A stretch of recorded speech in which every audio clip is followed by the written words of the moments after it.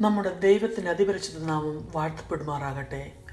ഇന്നത്തെ ധ്യാന ചിന്തയ്ക്കായിട്ട് തിരഞ്ഞെടുത്തിരിക്കുന്ന വേദഭാഗം വിശുദ്ധ ലൂക്കോസിന്റെ സുവിശേഷം ഒന്നാം അധ്യായം മുപ്പത്തൊമ്പത് മുതൽ നാൽപ്പത്തഞ്ച് വരെയുള്ള വാക്യങ്ങളെ ആസ്പദമാക്കിയുള്ളതാണ്. ആ വാക്യങ്ങൾ ഇപ്രകാരം എഴുതിയിരിക്കുന്നു. ആ നാളുകളിൽ മറിയ എഴുന്നേറ്റ് മലനാട്ടിൽ ഒരു യഹൂദ പട്ടണത്തിൽ ബന്ധപ്പെട്ട് ചെന്നു. സക്രിയാവിന്റെ വീട്ടിലെത്തി എലിസബത്തിനെ വന്ദിച്ചു. മറിയയുടെ വന്ദനം എലിസബത്ത് കേട്ടപ്പോൾ പിള്ള അവളുടെ ഗർഭത്തിൽ തുള്ളി. എലിസബത്ത് പരിശുദ്ധാത്മാവ് നിറഞ്ഞവളായി ഉച്ചത്തിൽ വിളിച്ചു പറഞ്ഞത് സ്ത്രീകളിൽ നീ അനുഗ്രഹിക്കപ്പെട്ടവൾ നിന്റെ ഗർഭഫലവും അനുഗ്രഹിക്കപ്പെട്ടത്.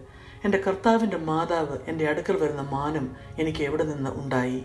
നിന്റെ വന്ദനസ്വരം എന്റെ ചെവിയിൽ വീണപ്പോൾ പിള്ള എന്റെ ഗർഭത്തിൽ ആനന്ദം കൊണ്ട് തുള്ളി. കർത്താവ് തന്നോട് അരുളി ചെയ്തതിന്റെ നിവൃത്തിയുണ്ടാകും എന്ന് വിശ്വസിച്ചവൾ ഭാഗ്യവതി. ധ്യാന വിഷയമായി തിരഞ്ഞെടുത്തിരിക്കുന്നത് കന്യാമറിയം എലിസബത്തിനെ സന്ദർശിക്കുന്നു എന്നുള്ളതാണ്. The visitation of Virgin Mary to Elizabeth ഏവർക്കും വളരെ സുപരിചിതമായ ഈ വിഷയത്തെ ആധാരമാക്കി ദൈവത്തിന്റെ ആത്മാവ് തരുന്ന രണ്ട് മൂന്ന് ചിന്തകൾ എല്ലാവരുമായി പങ്കുവയ്ക്കാമെന്ന് ദൈവനാമത്തിൽ ആഗ്രഹിക്കുന്നു. ആദ്യമായി ലൂക്കോസിന്റെ സുവിശേഷത്തിന്റെ പശ്ചാത്തലം അല്പമായി വിവരിക്കട്ടെ.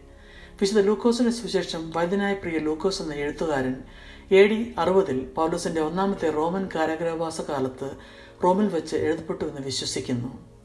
യേശുക്രിസ്തുവിനെ മനുഷ്യനായി ചിത്രീകരിക്കുന്ന സുവിശേഷമാണിത്.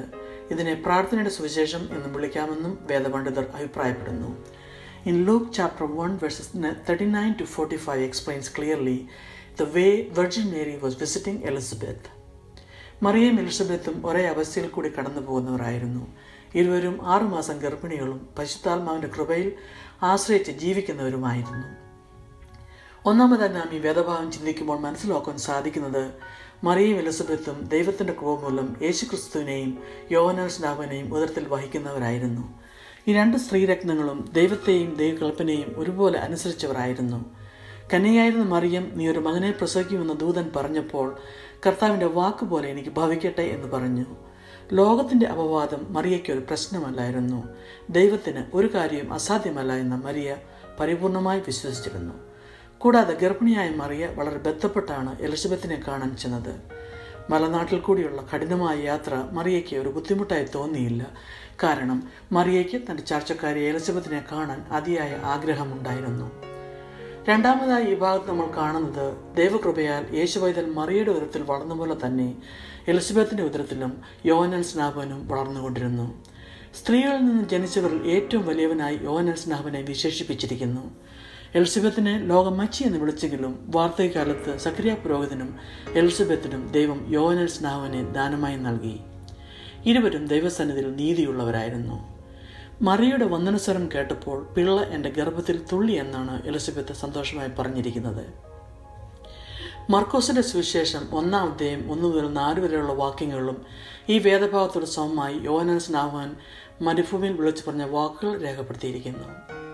മൂന്നാമതായി ഈ വേദഭാഗത്തെ പറ്റി ചിന്തിക്കുമ്പോൾ സൈവ്യാസങ്ങളായ നാം ഓരോരുത്തരും എത്രമാത്രം ദൈവകൃപയിൽ പൂർണമായി ആശ്രയിക്കുന്നു എന്നുള്ള കാര്യം ഒന്ന് ശോധന ചെയ്യേണ്ടിയിരിക്കുന്നു. സൈവ്യാസംഘം ശതാബ്ദി ആഘോഷിക്കുന്ന ഈ വേളയിൽ നാം ഓരോരുത്തരും ദൈവത്തിന്റെ വിളിക്ക് യോഗ്യമായ രീതിയിൽ ആയിരിക്കുന്ന സ്ഥാനത്ത് വിശ്വസ്തയുടെ ജീവിത രീതികൾ ക്രമപ്പെടുത്താൻ ബാധ്യസ്ഥരാണ്. ദൈവം എന്റെ കൂടെയുണ്ടെങ്കിൽ ഏത് കാര്യവും വളരെ ഭംഗിയായി എനിക്ക് ചെയ്യാൻ സാധിക്കുമെന്നുള്ള പൂർണ വിശ്വാസം നാം ഓരോരുത്തർക്കും വേണം. സ്ത്രീകളായ നമുക്ക് കുടുംബത്തിൽ ഇടവകയിൽ സമൂഹത്തിൽ ജോലി സ്ഥാനങ്ങളിൽ വളരെയധികം സേവനങ്ങൾ ചെയ്യാൻ സാധിക്കും. സ്ഥാനമാനങ്ങൾ കൂടാതെ ഏറ്റവും എളിയ രീതിയിൽ മറ്റുള്ളവരുടെ അവരുടെ ആവശ്യങ്ങളിലും വിഷമഘട്ടങ്ങളിലും കൈത്താങ്ങൾ കൊടുക്കുവാൻ ഓരോ സേവ്യാ സംഘങ്ങളും മുൻപോട്ട് വരണമേ. പ്രത്യേകമായി എല്ലാവരെയും പ്രാർത്ഥനയിൽ ഓർക്കുന്നു. ദൈവമേ അവിടുന്ന് അടിയങ്ങളെ അനുഗ്രഹിക്കണമേ. ദൈവരാജ കെട്ടുമണിയിൽ വാവാക്കാകാൻ അടിയങ്ങളെ സഹായിക്കണമേ. അടിയങ്ങളുടെ ജീവിതത്തിൽ കൂടി ദൈവസ്നേഹം മറ്റുള്ളവർക്ക് പകരുവാൻ ഞങ്ങളെ സഹായിക്കണമേ. ദൈവത്തിന്റെ വചനം അല്പമായി പങ്കിടാൻ സഹായിച്ച ദൈവകൃപയ്ക്കായി സ്തോത്രം ചെയ്യുന്നു. അവിടുത്തെ വരവനായ അടിയങ്ങളെ ഓരോരുത്തരെ ഒരുക്കണമെന്ന് യേശുവിൻ നാമത്തിൽ താഴ്മയോടെ അപേക്ഷിക്കുന്നു. കൃപയോടെ കേൾക്കണമേ. ആമീൻ.